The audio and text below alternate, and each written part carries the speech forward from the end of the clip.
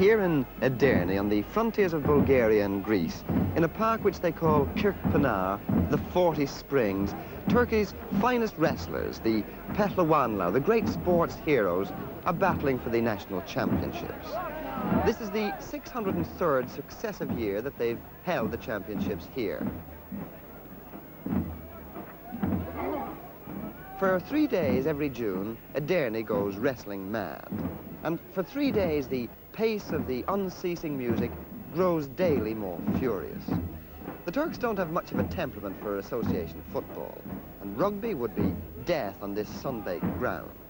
But wrestling has been the national sport for a thousand years, and generations of Turks have proved themselves to be the finest wrestlers in the world. And for these three days, they make a feast of it.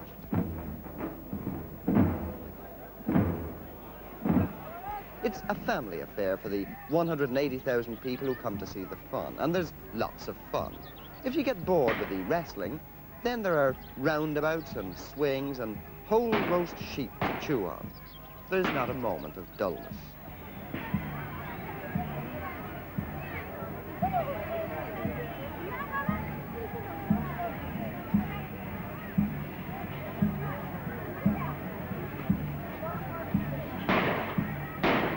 But for the Turkish aficionado, what goes on in the arena is the important thing.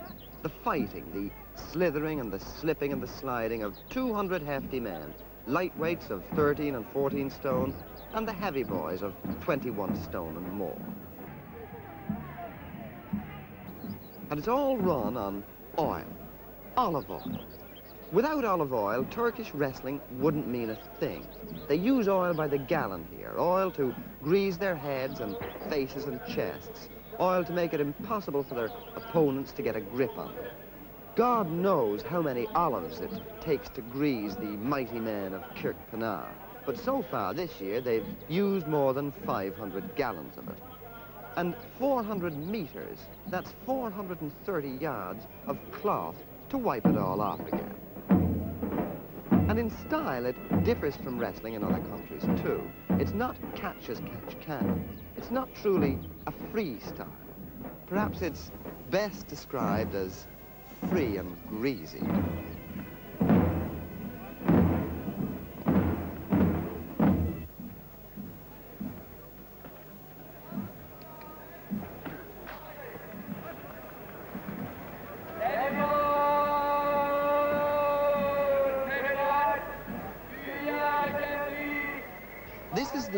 Final day of the three-day event, and the arena is packed tight with a knowledgeable crowd.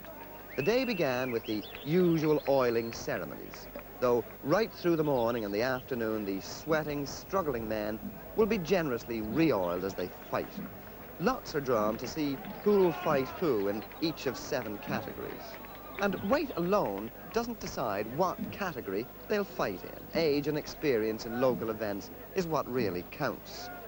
The judges watch the wrestlers being formally introduced to the crowds and listen to them being praised in mock heroic couplet. Ali's the man from Üsküdar, he'll throw the dark one very far.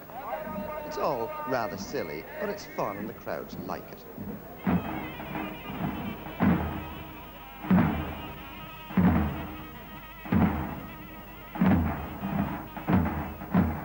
Drums beat out their steady tattoo, and after they've preened themselves, the wrestlers move out in line in a curious display of clapping and knee slapping, a posturing designed to show the crowds how strong they are and to terrify their opponents.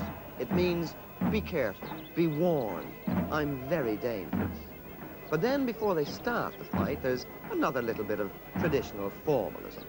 They hug each other affectionately, exchange kisses, and ask forgiveness of one another in case the fight results in death.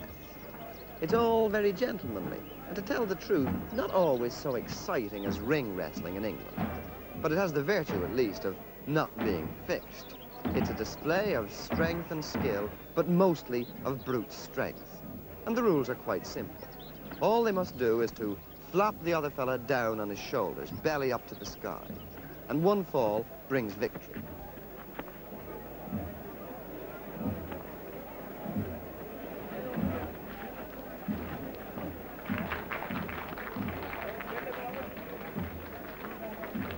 Now and again, a grudge fight flares up, and this could very well be one of them. Shaban Filez and Mehmet Ali Yağcı fought out the final here last year. The fight had to be stopped because Shaban's leather pants got ripped, and they couldn't find another pair big enough to go round his gigantic waist.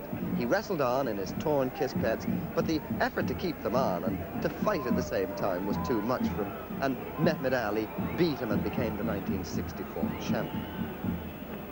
Now, this is a malice match which shows perhaps the promise of some life, and the drums are fairly beating it out now, and the fans getting very excited, some of them perched up in the trees.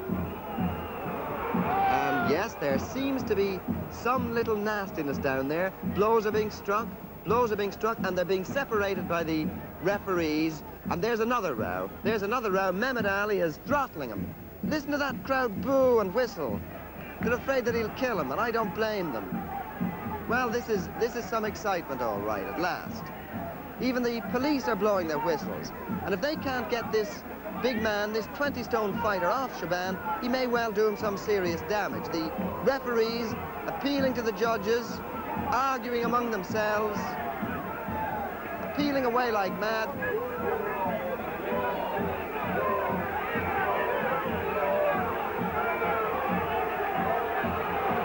And they've got him off. They've got him off, and he'll certainly be disqualified.